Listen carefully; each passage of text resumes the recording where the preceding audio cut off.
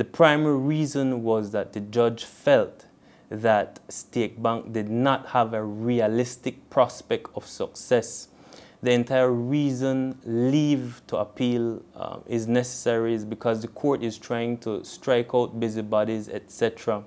Stake Bank's principal um, contention was that the practice directions which address electronic filing um, was beyond the scope of the civil procedure rules so that it was unlawful. That's what they were saying. Our position was that that is not so.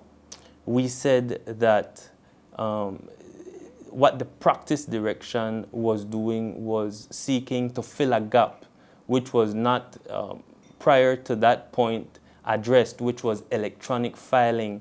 And that was in fact necessary because, and it was passed last, I believe, two years because of the COVID pandemic, there was a need for the court's registry to continue um, filing court documents and for justice to continue.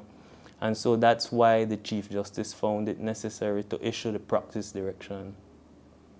Is there any likelihood that Stake Bank may very well appeal this mm. particular decision? Of course, as is available to every litigant, until you reach the CCJ, um, there is a right to appeal, and I'm sure that is something that is being contemplated by Stake Bank at, at this moment.